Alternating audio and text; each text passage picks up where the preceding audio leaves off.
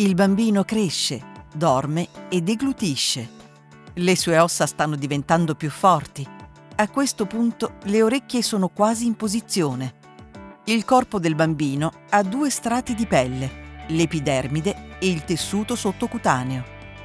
I vasi sanguigni sono ancora visibili attraverso la pelle e il corpo è ricoperto da una lubrificazione protettiva chiamata vernix caseosa.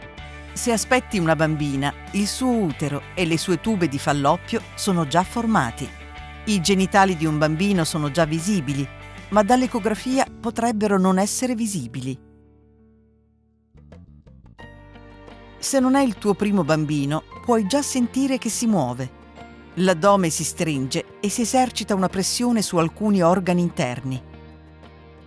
È difficile respirare perché il bambino esercita una pressione sui polmoni. La pressione sulla vescica provoca una maggiore frequenza di minzione.